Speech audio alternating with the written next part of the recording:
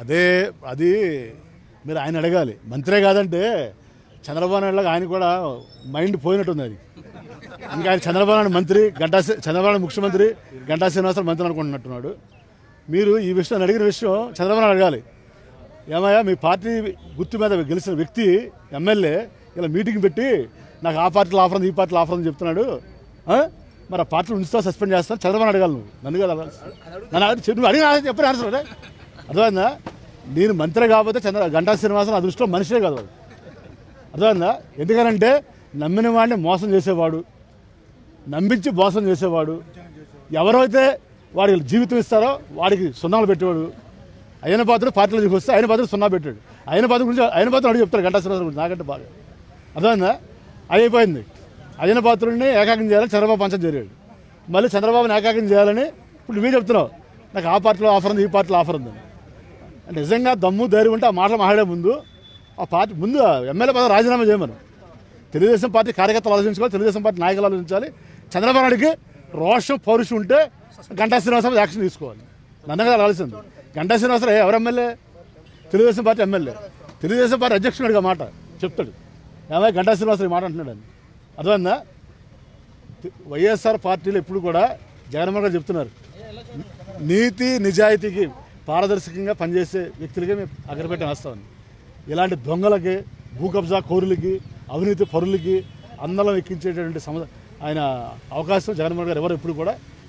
అంటే గంటా శ్రీనివాసరావు అనే వ్యక్తి ముందు నార్త్ నియోజకవర్గ ప్రజలకు క్షమాపణ చెప్పాలి. ఎమ్మెల్యే అయిన తర్వాత ఎన్ని రోజులు నార్త్ నియోజకవర్గంలో పర్యటించాడు ఇప్పటివరకు? ఎన్నిసార్లు అసెంబ్లీకి వెళ్ళాడు? అంటే అతను ఏమనుకుంటున్నా అంటే రాజకీయం ఒక వ్యాపారం. నేను అనకూడదు అన్నమాట రాజకీయం అనేది ఒక వ్యాపారం లాగా ఉంది అతను శ్రీనివాసరావు అందుకని ఒక ఒక నియోజకవర్గంలో పోటీ చేస్తే మళ్ళీ నియోజకవర్గంలో పోటీ చేయడు. ఎందుకని మళ్ళీ పోటీ చేస్తే డిపాజిట్లు రావని. అర్థమవుతుందా?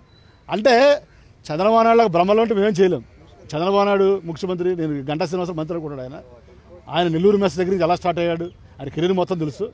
అర్థమైందా? ఆయన ఎలా పైకి వచ్చాడు. ఆయన ఆకాశం నుంచి రావాలి గంటా శ్రీనివాసరావు వ్యక్తి. అతను ఇన్ఛార్జ్గా ఉన్న మంత్రి సిగ్గు మాట్లాడుతున్నాడు. విజయనగరం జిల్లా వెళ్ళి విజయనగరం జిల్లా సత్యబాబుని మాట్లాడుతున్నాడు. సత్యబాబు గురించి మాట్లాడే అర్హత జగన్మోహన్ గురించి మాట్లాడే అర్హత జంటా శ్రీనివాసరావు ఉందా? నువ్వు ఇన్ఛార్జ్ మంత్రిగా తొమ్మిది సీట్లు తొమ్మిది వైఎస్ఆర్సీపీ వచ్చినాయి. నువ్వు ఎక్కడున్నా గంటా శ్రీనివాసరావు వ్యక్తి వర్గ రాజకీయాలు గ్రూపు రాజకీయాలు చేసి అతని స్వార్థం చూసుకుంటాడు కానీ పార్టీ గురించి కానీ పార్టీ నాయకుడి గురించి కానీ పక్కనున్న అనుచరుల గురించి కానీ ఆలోచించే వ్యక్తే కాదు. అది నాకంటే మీకే బాధ తెలుసు మీడియా వాళ్ళకి. మీడియా వాళ్ళకి కాదు విశాఖ జిల్లాలో ఆరేళ్ళ పిల్లలు తెలిసి అరవై వేల ముసలి ఎవరైనా చెప్తారు. అర్థమైందా? కొంతమంది చెంచాలు ఉంటారు అతనికి. అతను ఫోన్ వచ్చు. అన్న నువ్వు ఎక్కడికి గెలుస్తావని. అర్థమైందా? రాజకీయంలో భజన పరులు పది కూడా అనుమానం ఉంటారు. ఆ భజన పరులు భజన నిజమా కథమని తెలుసుకోవాలి. మరి అతను చుట్టూ తిరిగి వాళ్ళకి తిరిగి అతను అనుచరు కానీ చేశాడా? అతను ఎప్పుడు వంచన మోసం దగ కుట్ర వీటితో బతుకుతున్నాడు. అలానే పోతాడు అంతే అతను. అర్థమైందా? నేను అలాంటి మంత్రిని కాదు నేను. నేను అనుకోవట్లే మంత్రిని అని నేను అవంతి శ్రీనివాసరావు అనుకుంటున్నా. అవంతి శ్రీనివాసరావు పర్మనెంట్. అవంతి శ్రీనివాసరావు అనేవాడు పర్మనెంట్ ఉంటాడు ప్రజల గుండెల్లో. ఎమ్మెల్యే అవుతాడు ఎంపీ అవుతాడు మంత్రి అవుతాడు అయినా కాకపోయినా నేను చేసిన మంచి పనులు గుర్తుంటాయి. అర్థమవుతుందా? అవంతి శ్రీనివాసరావు పర్మనెంట్ నాకు తెలుసు. గంటా శ్రీనివాసరావు మంత్రి పదవి ఉంటే వెరవేగటం చేశా ఓపెన్గా ఛాలెంజ్ చేశా. గంటా శ్రీనివాసరావు వస్తాడా లోకేష్ వస్తాడా చంద్రబాబు వస్తాడా రమ్మని ఛాలెంజ్ చేసి మగవాళ్ళకి గెలిచాను అది మగతనం అంటే. అర్థమైందా? నేను దమ్మున మగవాడిని. అర్థమవుతుందా? అంతేగాని నీలాగా పార్టీ గెలవకముందే ఒకలా పార్టీలు ఉంటాం. గెలిచిన తర్వాత దు- దుడిదారిని ఎలా చేరాలని చూడటం? అలాంటి నా చేత కాదు. ఏదైనా మొహమ్మద్ మాట చేతను వ్యక్తిగత నాకు అతనికి కక్ష పగం లేదు. అతని వ్యక్తిత్వం అంటే నాకు కోపం. అర్థమవుతుందా? ఎందుకంటే ప్రజానాయకుడు అనేవాడు రాజకీయాలకు వచ్చినవాడు ఒక వ్యవస్థకు జవాబుదారితనంగా ఉండాలి. ప్రజలకు జవాబుదారితనంగా ఉండాలి. ఒక పార్టీకి జవాబుదారితనంగా ఉండాలి. అతను నమ్మిన అనుచరుల జవాబుదారితనంగా ఉండాలి. ఏది నేను జవాబుదారితనం? నేను ఎవరు నమ్ముకుని పార్టీలో రాణిస్తాడు నిన్న? అసలు ఏ పార్టీలో నీకు తెలుసా? ఎంతమందిని మోసం చేశాను నీ ఇరవై సంవత్సరాల జీవితంలో. నువ్వు ఒకసారి ఎప్పుడైనా ఆత్మపరిశీలన చేసుకో. తెలుస్తుంది నీకు. ఎవడ మంత్రో ఎవడ మంత్రి కాదు. అంటే నువ్వు అహంకారంతో మాట్లాడుతున్నావా? ఏ నువ్వేని మంత్రా? మీ బాబు అని మంత్రి? మీ తాత అని మంత్రా? ఉండలేడు. అర్థమైందా? ఎవరితో పెట్టుకోమని నాతో పెట్టుకోవద్దు. నేను ఆయన పాత్ర మంచోడు కాదు నేను. గంట శ్రీనివాసరావు తెలియజేస్తాను నీకు. అర్థమైందా?